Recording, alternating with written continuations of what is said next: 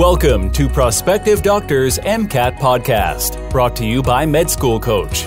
Each week, Sam breaks down the highest yield MCAT topics so you can score as high as possible on test day. Hello, and welcome to Prospective Doctors MCAT Basics with your host, Sam Smith. The goal of this podcast is to cover the highest yield topics on the MCAT and provide you with some sort of insight into the questions that the MCAT really likes to ask. This podcast is going to cover social stratification, which is actually a really important topic for the MCAT. And I meant to do this podcast a long time ago. It's kind of just been sitting in the uh, topic queue. But uh, I cover a bunch of different topics in this podcast. First, I'm going to go through a bunch of different terms that you're likely to see regarding social stratification. And I'll give examples, I'll, I'll define them. Um, but I think a lot of the stuff, especially on the psych soc section of the MCAT, is really just being able to understand these different concepts and being able to recognize them and apply them. Um, you know, things like gentrification, prejudice, social capital, etc. So that's the first thing I'm going to do is I'm going to define a bunch of terms for you, give examples and definitions, and then I'm going to talk about social classes, and then lastly, I'll talk about social stratification in healthcare. And this material is going to show up in one out of the four MCAT sections. That's going to be the Psych Soc section. And this is actually a pretty high yield topic. You're definitely likely to see this come up on the MCAT. And of course, you'll see this stuff come up in interviews for medical school, during medical school as a physician, um, which honestly can't be said about a lot of the other um, MCAT topics.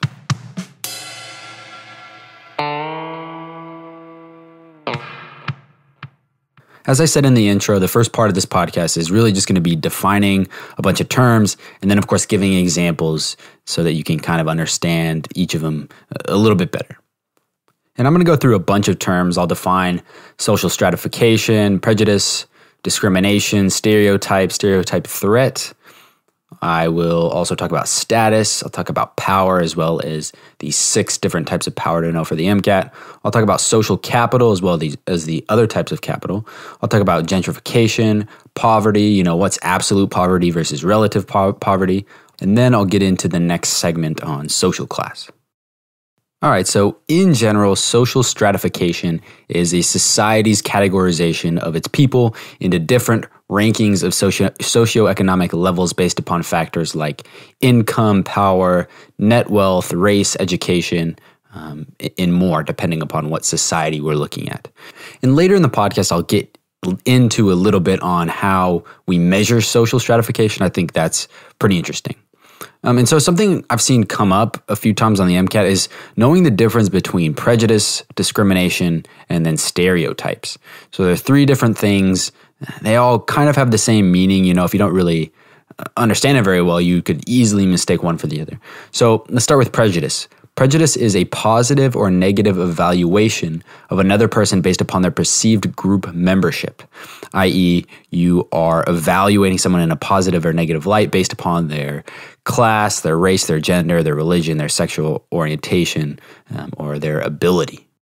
So, for example, if I were a prejudiced human being, you know, maybe I'd be walking down the street and I would see a woman and I'd say, you know what, I don't like them. They're a woman. I'm, you know, they're they're not part of my group um, and just have kind of negative feelings about that person just because they were a woman. Um, or, you know, it could be a different race than mine. And maybe I would say, oh, I don't like that person. They're, um, you know, some other race. And, and so basically, I would have no evidence to dislike this person. You know, they could be a wonderful individual. But because of whatever group they belong to that I didn't, I kind of prejudged them. So, one way to kind of think about prejudice is to think prejudged, um, which is one way I like to think about it. Now, in contrast to that, the Oxford English Dictionary defines stereotype as a widely held but fixed and oversimplified image or idea of a particular type of person or thing. So it's really just a generalized belief about a particular group of people. And there's a million different examples of stereotypes that I can think about, but you know, one may be that elderly individuals are bad drivers, or that blondes are dumb, or that maybe athletes are dumb. Um, you know, I'm, I'm sure you can think of your own too. But really, the thing to remember here is that stereotypes are this generalized idea you have about a particular group. It's not necessarily this overall bad or good feeling you have about a particular group. It's, you know, some belief or some idea that you have about that group that may be true it may not be true. You know, it's not always 100% true, but it can be true in some cases. You know, I'm sure there are individuals that are elderly that are bad drivers. Obviously, you know, maybe they can't see very well, they're a bad driver, but that's not the case all the time. And lastly, discrimination is defined as an action or practice that excludes, disadvantages, or differentiates between individuals uh, or groups of individuals on the basis of some perceived trait. And I think the big takeaway for discrimination is that it's an action, right? Both prejudice and stereotypes are just thoughts, right? You're just thinking in your head that you don't like some group of people or you have some idea about a group of people in general. But discrimination is an action against that group of people for whatever perceived difference you think about them or perceived dislike you have for them. So, again, the difference between discrimination and prejudice is action. And I think one interesting and a historical example of all three of these different concepts is in a conflict that occurred in Northern Ireland that was known as the Troubles. And this conflict started around 1968 and lasted about 30 years. And it was essentially between two different groups of people. One group of people were Protestants eh, in terms of their religion, and they were also Unionists and what that meant is that they wanted Northern Ireland to actually remain part of the United Kingdom. And then, in contrast to, that, to them, there was a group of people known as the Irish nationalists. They were Catholics and they wanted Northern Ireland to actually leave the UK and join a united Ireland. And these groups of people really did not like each other. Um, you know, it was kind of the Catholics versus the Protestants. And it was easy to look at it as kind of like a religious conflict, but it was more of the fact that uh, they didn't agree with the direction that the country wanted to go in terms of staying part of the UK or joining Ireland. And so, anyways, these groups of people really grew to dislike each other. And even though they didn't necessarily know these people personally, they judged them, you know, just based upon the fact that they were of a different religion. They'd say, I don't like that person and that's what's known as prejudice. And eventually, the Irish Protestants began to stereotype the Irish Catholics as these heavy smokers, heavy drinkers, um, and just kind of anytime they'd see one of the Catholics, you know, they just assumed, you know, you're a heavy drinker, you're a heavy smoker. And I should just mention too that the Catholics, uh, people who were nationalists, you know, that wanted to join Ireland, um, they were also the minority in this population. And so over time, what happened is that these Catholics were actually discriminated against and they were less likely to be given to be given certain jobs, especially in government. And so, obviously, that's a form of discrimination, um, right? These Irish Protestants are kind of taking an action to prevent the Catholics from gaining jobs. And there was obviously a lot more of discrimination that happened. You know, there was a lot of violence. A lot of people ended up dying. Um, but it's just an interesting example that shows that these three concepts are all related, right? One may lead to the other, may lead to the other, or, you know, in, in different orders. So, um, interesting historical example. And one thing I didn't mention was the concept of stereotype threat. And stereotype threat is defined as a situation in which people feel at risk of conforming to some stereotype about their social group, which in effect causes them to actually conform to the stereotype. And this is a bit of a weird concept, but I'll give you some examples and I'll actually go back to one of the original experiments that kind of showed this effect. Um, so if you don't understand by that definition, just hold on for a sec. So, one of the original studies that showed stereotype threat was done in 1995, the year I was born, and it was done by Claude Steele and Joshua Aronson. And they got the idea for this study when they noticed that African American students were not performing as well as white students on the GRE, which is the graduate exam for um, you know, normal grad school. And I think a lot of schools are getting away from it now. But back then, everyone was taking it to get into graduate school. And so what they did to kind of understand why this was the case is that they took a pool of African American and white students, and they split this pool into three groups so that each group had um, white students and African American students. And in group one, they described the GRE as, or I think it was a section of the GRE, they described it as a diagnostic test of intellectual ability. So that's group one. Group two, they described the test as a laboratory problem solving task that was non diagnostic of ability.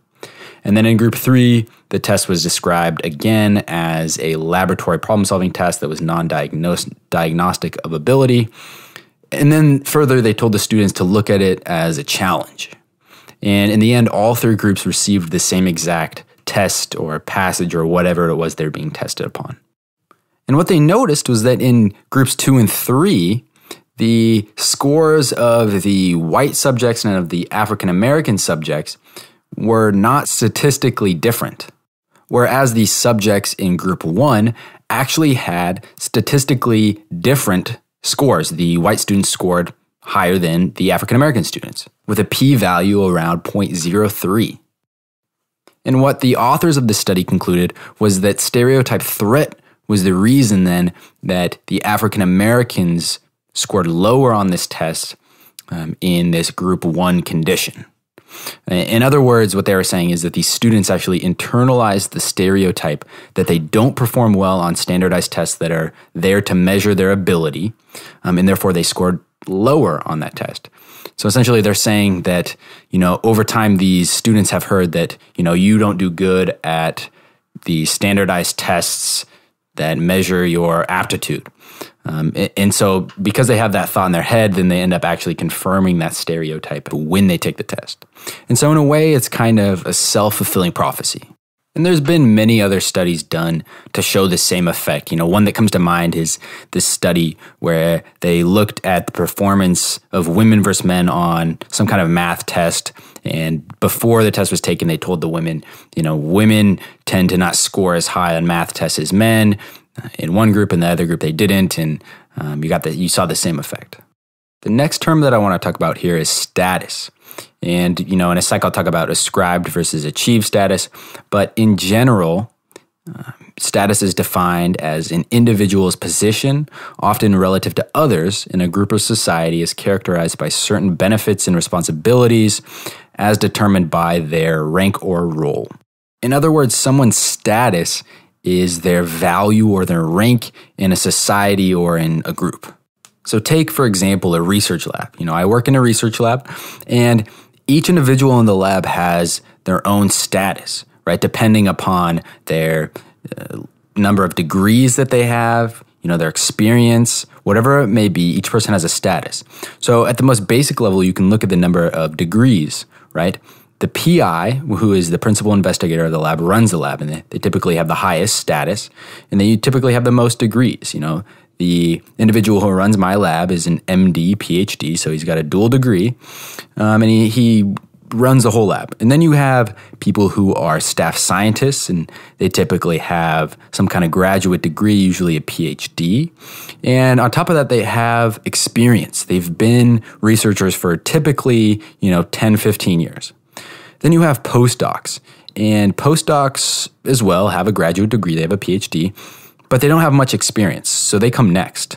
Then you have graduate students who typically have some type of undergraduate degree but are working on a graduate degree. Then you have postbaccs, which are post bachelorettes, which are just people who have graduated. They have got their bachelor's degree, but they're not necessarily in a graduate school program. So they're probably the next level. And then under them, you have undergraduate researchers, researchers who have not got their undergraduate degree yet, um, but are you know doing research to get experience. And so that's all to say that in a research lab, status is typically based upon the number of degrees that you have or your experience. Um, and status can either be ascribed or achieved. Status that's ascribed is status that's given at birth. An example there is like that you're born into a royal family and now you're a king or a queen status can also be achieved. And that is when status is gained on the basis of achievements and on the basis of merit. So, you know, that's when you worked your whole life to become uh, a PI of a lab, for instance, a principal investigator. Now you're the head of a lab and now you run that shit. I don't know if that's how PIs feel, but that's how I would feel if I was a PI. The last status term I want to talk about is status consistency. And that's a situation in which an individual's status is similar across multiple categories such as education, occupation, income, etc. That's a pretty uh, common sense kind of definition, right? You see status consistency, their status is just consistent across categories. You know, maybe say you're a politician and your occupation puts you pretty high in terms of status. And then you also graduated from Harvard and you also make $250,000 a year. Um, you know, that would put you pretty high status in terms of all these different categories, i.e., you would have status consistency. The next term I want to talk about is power. And I'll also talk here about the different types of power to know for the MCAT. Um, in sociological terms, power is defined as the capacity of an individual to influence the behavior of others. And there's six different types of power that you should know for the MCAT. And these are called French and Raven's five forms of power, which, yes, there's six of them. It's called the five forms. That's because there was five. And then after French and Raven had come up with these five, they realized that they left one out. And so that was the sixth. Um, but, anyways, the first is legitimate power, and that is elected, selected, or appointed positions of power. A good example of this is in elected officials in government. You know, we elect them, and in their positions, they have power. They can sway people's beliefs, sway their behavior, etc. The second type of power is called coercive power, and that is the use of force to gain compliance. And I like to think about this as like a kidnapper. Like, say, for instance, and God forbid that somebody was to kidnap you, uh, they would do it using force, right? You're not just going to willingly go along with them um, without some threat of force, at least. The third type of power is called reward power. And this is denial or offer of a reward for desired behavior. And this is like you and your pet dog, right? You hold reward power over your dog because you can offer it doggy treats to, you know, sit or do some behavior that you want it to do.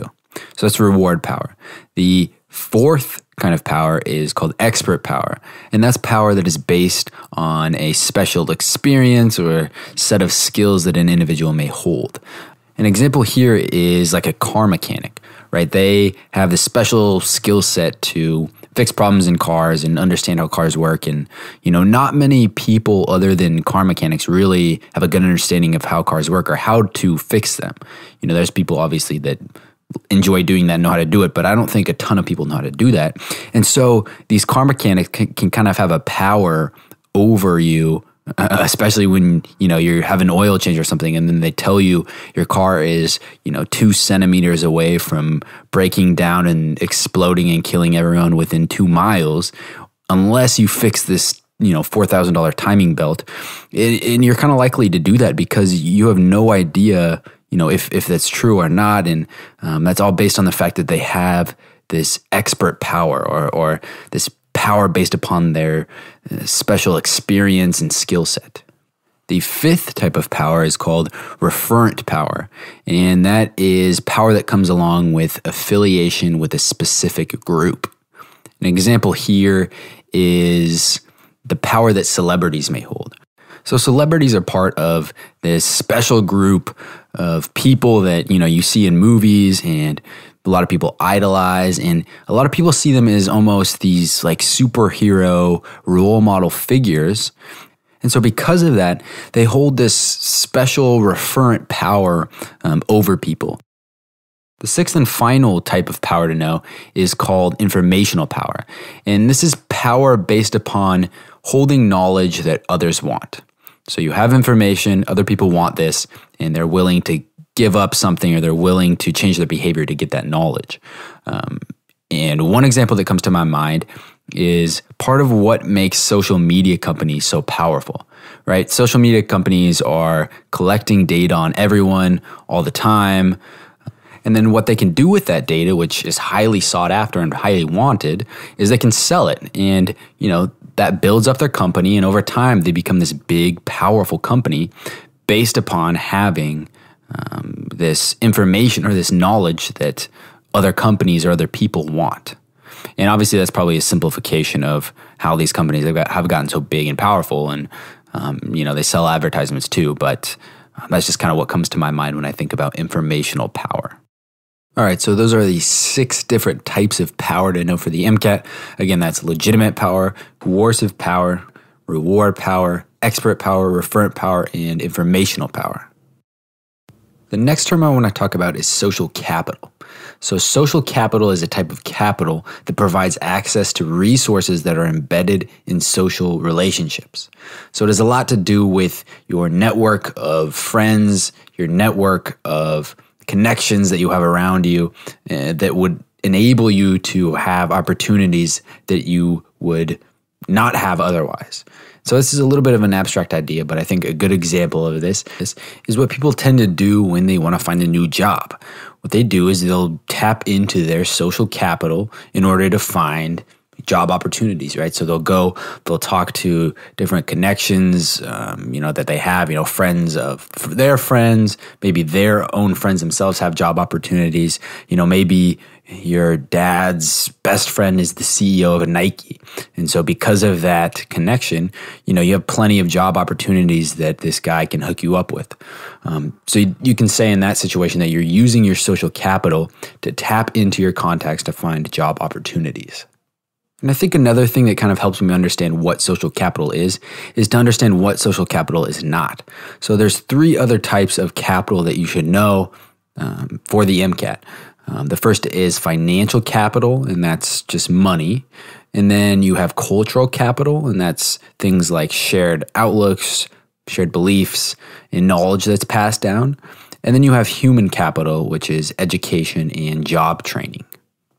So, again, social capital is capital that provides access to resources that are embedded in your social relationships.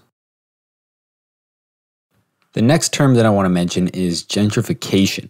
And the Merriam Webster Dictionary defines gentrification as the process of repairing and rebuilding homes and businesses in a deteriorating area, such as an urban neighborhood, that is accompanied by an influx of middle class or affluent people and that often results in the displacement of earlier, usually poorer residents. And this is especially a problem in bigger cities. So I live right outside, right outside of Washington, D.C., and um, Washington, D.C. is a prime example of gentrification. Um, what happens is that you have these poor neighborhoods where houses are deteriorating in some capacity, and eventually what happens is these developers come in and they maybe knock down houses and then build up these new nicer apartment buildings and this attracts a more affluent clientele that come in and you know that drives up the housing prices and eventually you get more nice buildings built and more affluent people move into this area and eventually what happens is you push out all the poor people from that area and this cycle just kind of repeats itself right you're pushing these poor communities further and further outside of the city as you continually gentrify these areas so that's gentrification. The next term that I want to discuss, and it's very related, is poverty. So, in terms of sociology, poverty is defined as a social condition in which a person lacks the resources necessary for basic survival or necessary to meet a minimum level of living standards expected for where they live. And that's really two definitions kind of rolled up into one, right? Because that defines absolute poverty and relative poverty. And so, absolute poverty is a level of poverty in which one's life is threatened. And this is when someone can't even afford day-to-day resources like food, water, shelter, shelter, etc. Um, and, and of course, that's all going to be based upon where that person lives, right? If they live in California, the absolute poverty level is going to be a little bit lower than if they were living in a place like, say, Antarctica. Relative poverty, on the other hand, is poverty as compared to others in society. And typically, this is given as like a percent below the median income. And in this case, a person's life is not necessarily threatened, but they are excluded from opportunities within society that others may have access to. So, just to give you an example of a relative poverty line, uh, we can talk about the one that exists in the United States. So, the United States Department of Health and Human Services defines poverty as making less than $12,140 as an individual. It changes depending upon if you have children or how big your family size is, but for an individual, It's about $12,000. And this relative poverty metric or this relative poverty line is actually pretty important for a lot of different things. Um, one example that you'll see in healthcare is in the Medicaid program. So, Medicaid, which is not to be confused with Medicare, is a government insurance program that provides health insurance to low income individuals. And it's individuals that are below 138% of this poverty line are the ones that qualify for the full benefits of Medicaid. In other words, if you're an individual, you need to be making a little less than $18,000 to qualify for the full benefits of Medicaid. So, this is kind of an interesting example of one way that the US uses this poverty metric that they've come up with. Um, and, I should say too that for those of you who have a better understanding of the Medicaid system than I do, um, you, you, know the, the benefits change state to state. So you know in some states it's that you have to be below 100% of the poverty line in order to qualify. Some are 138. It depends upon which states have expanded Medicaid, um, etc. And it's this really big, complicated kind of mess, to be honest. But it's an interesting example. Thanks for checking out the Prospective Doctor MCAT Basics podcast. Sam's doing a killer job taking you through the most important MCAT topics, but what if you need a little extra help? How does a 5, 10, or even 15 point increase in your score sound?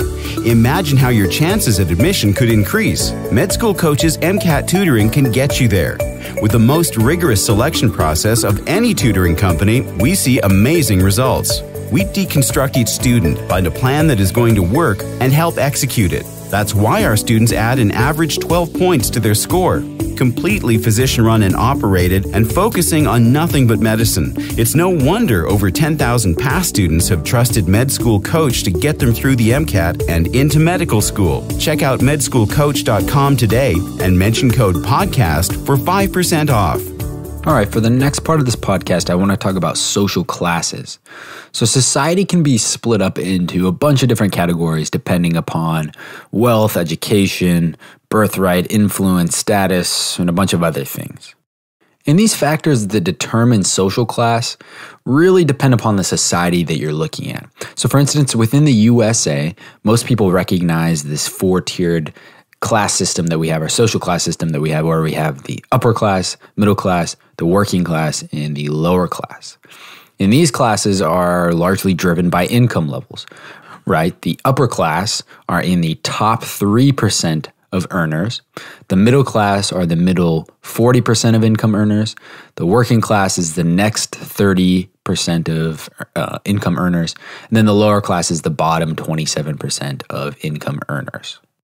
So that's how the US social classes are more or less defined. Um, in contrast to that, in ancient India, there was something that's known as the caste system, and to an extent, it's still there today.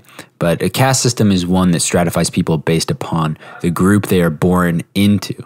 Um, in, in India, they had four different classes of people, and I'm going to present these in the order of their importance in the social hierarchy. The first, or the most important group of people, were known as the Brahmins, and they were priests or intellectuals. The second group of people were called Kshatriyas, and they were warriors, you know, or in some cases, rulers. And then you had the Vaishyas, who were farmers and merchants. And then last, you had the Shudras, who were just laborers or peasants. And these four groups were kept completely separated from one another. They occupied different living colonies. They would only marry within each of these classes. Um, and you couldn't even accept food from someone who was a class below you. And so, for the most part, the class that you were born into, you stayed in. In other words, there was no social mobility. Um, and social mobility is an important term to understand and is just the ability for members of a, of a society to move within or between social strata in society. So, for example, you could look at some of these American rags to riches stories where you see people move from the lower class all the way to the upper class. That's social mobility. And in terms of India's caste system, there really was no social mobility, or at least very little. And there's a few terms regarding social mobility that you should know. The first is vertical mobility, which is either moving up or down the socioeconomic ladder. Then there's horizontal mobility, which is just changing jobs or changing positions but staying within the same socioeconomic class. And then there's intergenerational mobility, which is changes in your socials uh, or your socioeconomic status from a parent to a kid. In other words, say your parent was part of the middle class and then you, the kid, was part of the upper class. And then lastly, there is intragenerational mobility, which are changes in your socioeconomic status throughout your lifetime. An example of this would be like somebody winning the lottery. So, say you're in the working class and then you win $15 million in the lottery in the US, and now you're in the upper class. That would be an example of intra generational mobility. All right, so to summarize that, I just gave two examples of how social class structures or systems are very dependent upon the environment you're in. And moreover, they're kind of malleable over time, right? You can move, in some cases, you can move between different uh, rungs of the social mobility ladder. And in some cases, you're stuck where you're at. And again, that all depends upon the environment you're in, um, say the US versus India versus China versus etc. And on the topic of different cultures, there's another term that might come up that you should understand if you see, and that is cultural bias. So, cultural bias is interpreting and judging phenomena by the standards of one's own culture. So, one example that's kind of gross to think about is the fact that in China, it's completely appropriate to eat dog meat. Um, in, in parts of China, I can't say that for all of China because I don't know, but in parts of China, it's completely appropriate to eat dog meat. And obviously, this is not seen the same way in the US. And that's mainly because in our culture, we see dogs as pets and not food. And in the same way, other cultures may look at us eating cows, for instance, and think that that's morally reprehensible, um, even though we think it's completely normal. And so that's just an example of cultural bias. And I should mention too that you could argue that just because something is culturally acceptable doesn't mean it's morally the right thing to do. Um, but nonetheless, I think it's something that's important to keep in mind when you're looking at things that other cultures do that you think are strange or not moral or weird or whatever. And it's important to know for the MCAT.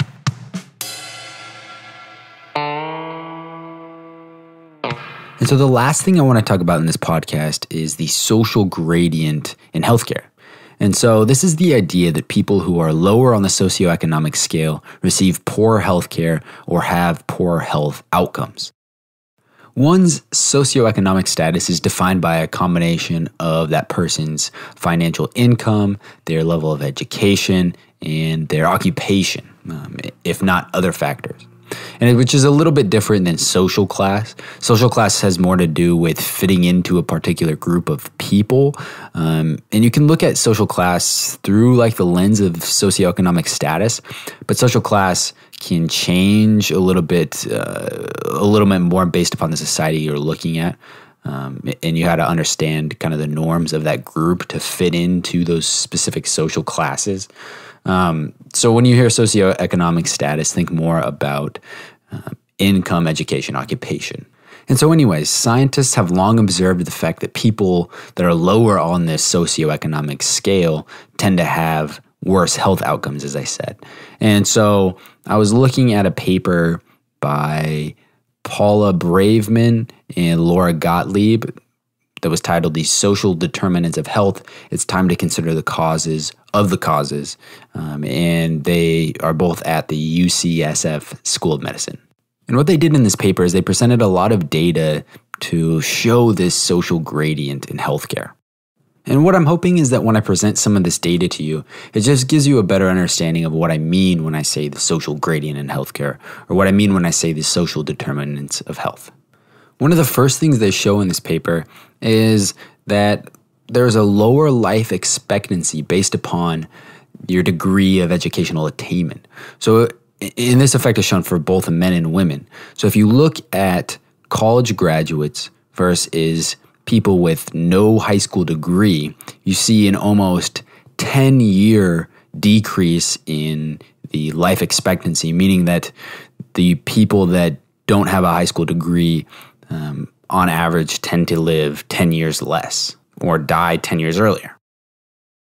Another thing they show is that the infant mortality rate is higher the less education that you have. So the graph they show shows that people with a high school degree only have essentially twice the rate of infant mortality as compared to college graduates. That's a rate of 3.7 infants per 1,000 for college graduates and 7.7 infants that die per 1,000 for non high school graduates. And, you know, if you look at this plot, you have um, people with less than high school degree, a high school degree, some college and college, and it just looks like a staircase, right? You're just increasing the infant mortality rate as you get less and less education. And then one of the last things they show, and I thought this was pretty interesting, was that you see the same effects across different ethnicities. So whether a person is Asian, Hispanic, white, African American, um, you know, Native American, you see this effect where the less education you have or the less money that you make, the poorer your health outcomes are. And so the obvious question you should have in mind right now is why? Like, why are these health outcomes worse the, the lower on the socioeconomic scale you go? Well, first of all, the, the paper makes it clear that correlation does not equal causation. They say, quote, the aforementioned evidence reflects associations that by themselves do not establish causation. But all the evidence really points to a causal relationship between um, these health outcomes and socioeconomic status. It's obviously hard to prove because you know we are correlating two variables together, but just keep this in mind that correlation doesn't always equal causation, but there's so much evidence in this case that we tend to um, assume a causal relationship. So the authors of the paper go on to kind of talk about a few things that could contribute to this effect that's seen. The first is that the first is that access to healthcare is more limited to those on the lower end of the socioeconomic spectrum. And that in itself has plenty of different causes. You know, one being that it's harder for these people who are low income to get insured, um, and therefore they might not go access that healthcare because they don't have insurance. Um, you know, they might live in an area where it's hard to go see a primary care physician, or maybe you know they work a lot, so they're not able to go see a primary care physician. Whatever it is, um, you know, the access to healthcare tends to be lower for those on the lower end of that socioeconomic spectrum. Another reason they give is that people in disadvantaged neighborhoods are more likely to be involved in gun violence, which would then lower their life expectancy. They talk about a lower availability of fresh produce in poor areas. They talk about environmental toxins and, and pollutants that these poor areas may be more exposed to. So there's a million of these different factors that could cause these effects and probably do contribute in some way to these effects. But you got to understand that this correlation between low socioeconomic status and poor health outcomes is not just due to like one variable that we could quickly and easily fix, right? There's a million factors that are involved. Um, but what the paper does do is it does lay out three different things that healthcare providers can do to start to be able to fix some of these things. They say that number one, the healthcare provider can understand this subject um, and educate themselves on this subject. They say number two, that the healthcare provider can do research so that they can better understand this topic and better provide information to other healthcare providers um, so that they can understand the topic better. And then lastly, they suggest that healthcare providers can go advocate for healthcare policy changes whether it be at the state level, the local government level, federal government level, that can have a positive influence on, or, or positive effect, I guess, on these patients that are lower on the socioeconomic scale. Overall, I think the kind of important takeaway for the MCAT is just to understand that research shows that socioeconomic status, in particular education level and income have a positive correlation with healthcare outcomes. In other words, as your socioeconomic status goes up, so does your health outcomes.